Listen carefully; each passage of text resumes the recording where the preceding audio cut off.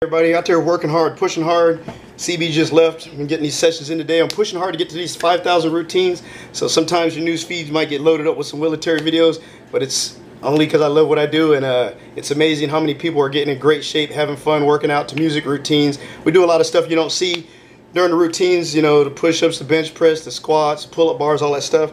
But the routines was fun that everybody likes to do. There's one for everybody out there. And all my other fitness uh, trainers and personal trainers and dance instructors and karate instructors and all y'all, thanks for doing your part to help get everyone feeling good about themselves. Because the more people feeling good, the less people do stupid stuff and get in trouble. So let's get more people feeling good, feeling shape, and it ain't about size. It's about feeling good about yourself, no matter what size you are. Willitary, peace, keeping fun and fitness.